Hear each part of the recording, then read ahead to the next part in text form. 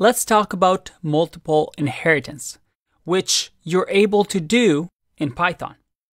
Now, remember we have our user, wizard, and archer classes. We're trying to build that game, right?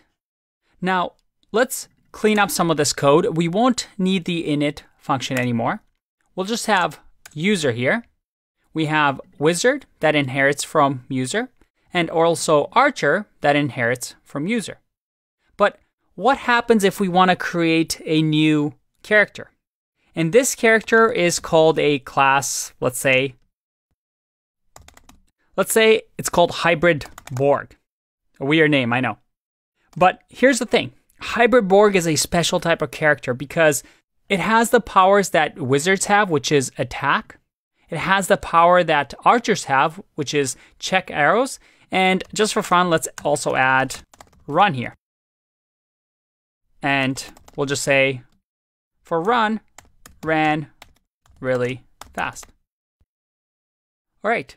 So we want this hybrid Borg to have all of these methods. Can we do that?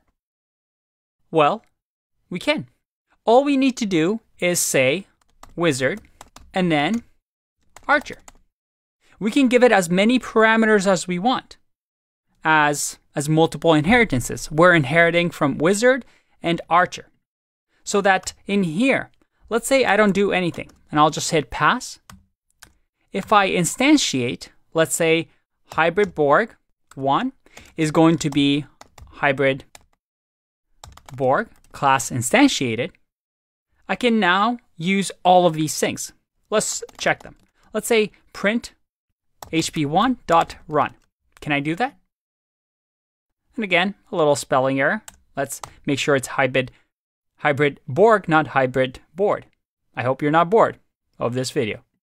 All right, I get an error, missing two required positional arguments, name and power. All right, because, well, we have to pass these things in, right? It accepts these parameters.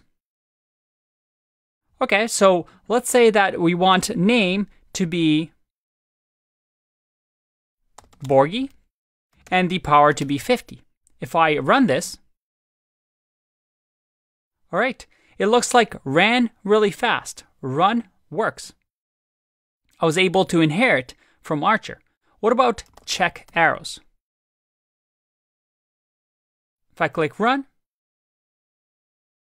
oh, I get hybrid Borg object has no attribute arrows. Now, why is that? Because technically we inherited from wizard first, then archer. And wizard accepts name and power, but we never gave the arrows name, and arrows. Hmm, so how can we solve that? Let's try something.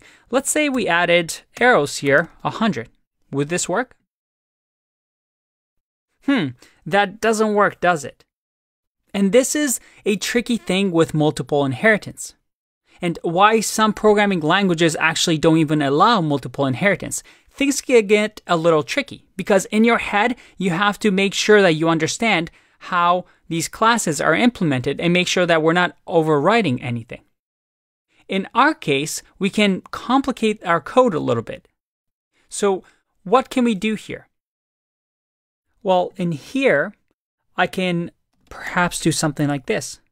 I can say define init. This receives self.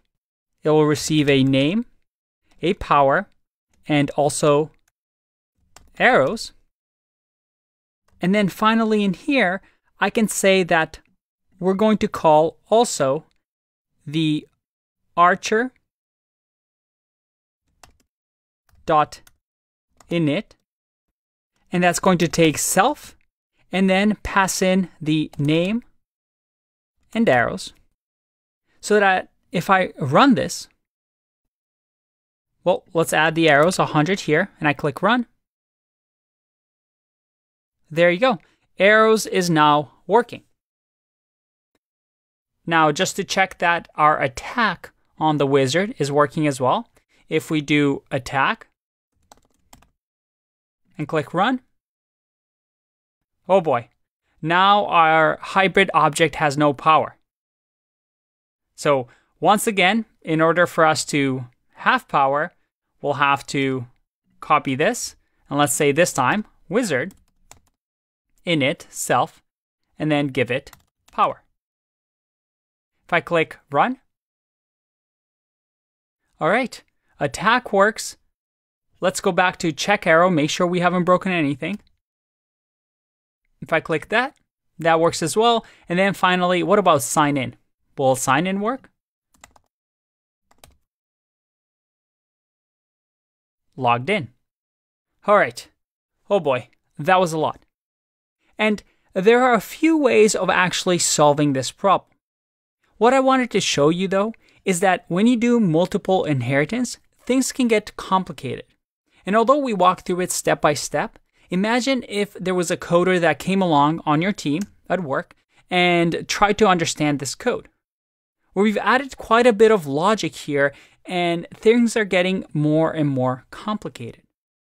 And it's hard to keep track of everything in your head. And this is why multiple inheritance is one of those things where it's really, really powerful. But with great power comes great responsibility because we're creating more and more complexity. Again, part of the reason that some programming languages don't actually allow you to do multiple inheritance. And by the way, I'm going to confuse you even more. In the next video, we're going to talk about something called MRO. And it's going to be another great example of why you want to be cautious with multiple inheritances. I'll see you in that one.